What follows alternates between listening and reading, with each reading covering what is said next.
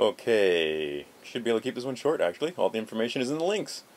So, first off, Santorum. Really? Really?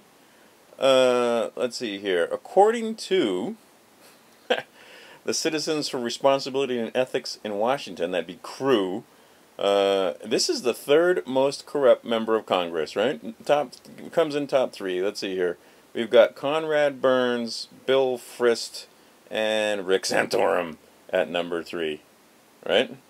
Uh, dear, oh dear, and this is the guy that's winning all over the place, right? This is the guy that has the you know the evangelicals and the Christians all up and you know coming out out of the woodwork, even though he doesn't have a campaign headquarters and no groundwork.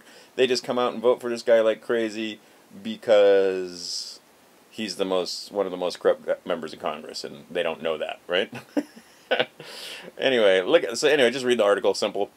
Uh, another great one. Um, this one actually doesn't prove anything, but it's just kind of odd that none of the Romney supporters would raise their hands until, and like you see one or two guys in the back of the room, and you could see that the guy didn't want to take his mic all the way to the back of the room because there was one guy uh, with his hand up, but it's kind of a little strange there. But like I said, that one doesn't really prove anything, but I just thought it was interesting.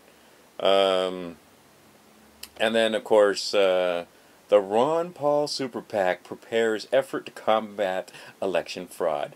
At last right? Now notice again, Ron Paul cannot be on the air going, "I got robbed in Nevada. I got robbed." Right? There's just no way because they, like I said, they'll eviscerate him. They'll they'll just call him a conspiracy theorist and make it you're crazy because the mainstream media line is there's no vote fraud in the United States everything's up and up. Our elections are fair, even though when Ron Paul guys try to get there and watch them count the vote, they're not allowed in. Even though for the first time ever in Iowa, they're counting the vote in secret. They count the vote in secret. They count the vote on voting machines that have been proven to be hacked. They've been, you know, I mean, over and over and over again. Um, but the mainstream media line is ain't a problem in the United States. Everything's fine. Go back to sleep. We're picking a guy for you. Um, so anyway, the Ron Paul Super PAC, see, he can distance himself from it, and they can put some of these guys in jail. Look at the black box uh, voting uh, link that I have down there, where she just put uh, tons of links. That link leads to tons more links that just basically shows, of course, Bev did her homework, as usual, right? And shows who these people are, names names, and then we gotta get some pictures so we can see the faces of these guys. The same guys get hired Right? Anyway, just read it. I don't have to reiterate. It's just very simple. Uh, black box voting. The link is below. It becomes very clear that there is a pattern of fraud, corruption, and deception, and the the PAC, the super PAC, had better put some of these guys in jail. Like I said, these guys need to go to jail. Fraud is illegal in the United States. And even the most brain dead among you, look down there among here. I have a link to Ron Paul's performance to date and the importance of voting. This one just shows up to Nevada. And uh, I don't care who you are. Look at that graph, right? I mean, it's a bar chart. Should be very simple for you to see that everywhere else he picked up tons of votes, except for Nevada. Really, he only picked up what 100? Not even 100. Um, really? And but even in Nevada, where he's like wildly, popular, he was drawing huge crowds. And anyway, we know that there were some problems in Nevada. Uh, coming second in Minnesota. See, what they're able to do is they're able to flip the votes. Right? It's as simple as that. Colorado, I can't say. I don't know. That seems a little fishy. I don't know. Right? But I mean, seriously, Santorum, that sweep, each one of those is a little bit dubious. Just a little bit. So there needs to be more investigation. Again, you guys need to authenticate and verify. And all you guys saying, oh, we're not even in, the, we're barely into this thing. I mean, like, there's hundreds more, thousands of delegates. I mean, we're barely into the thing. So for you guys to be saying he needs to be running third party or, you know, they're never going to let him in as the fixes in, that's pr probably true. But at the same time, this thing's not over. And if you get out there and authenticate and verify, they'd have a much more difficult time. And now that the super PAC is in there, I think they're going to be a little more wary.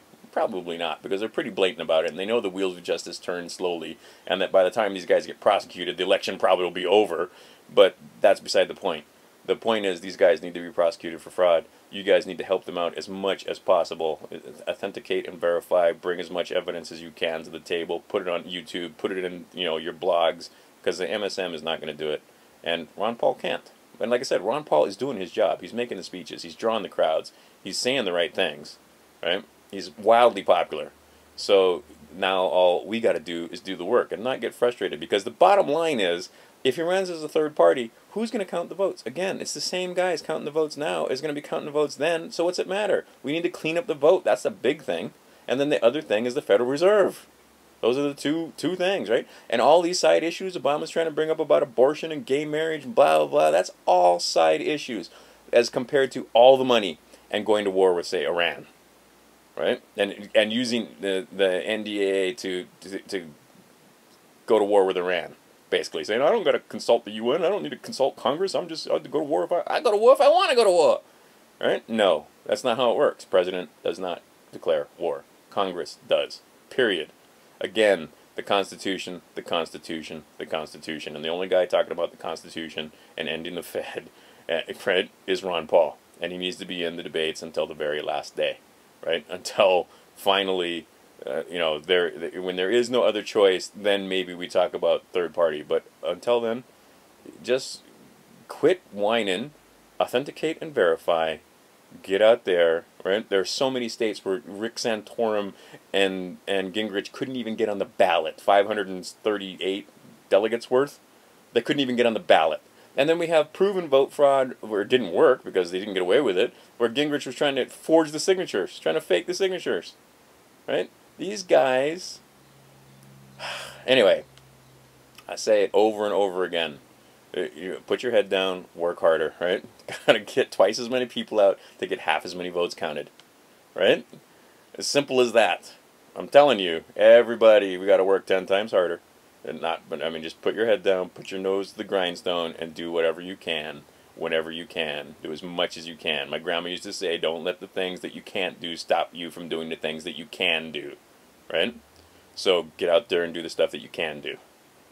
And I'm telling you, we got a long fight ahead of us. This thing is nowhere near over. But what they would love it, they would love to see you guys throw in the towel and be like, "Ah, oh, we can't win this thing.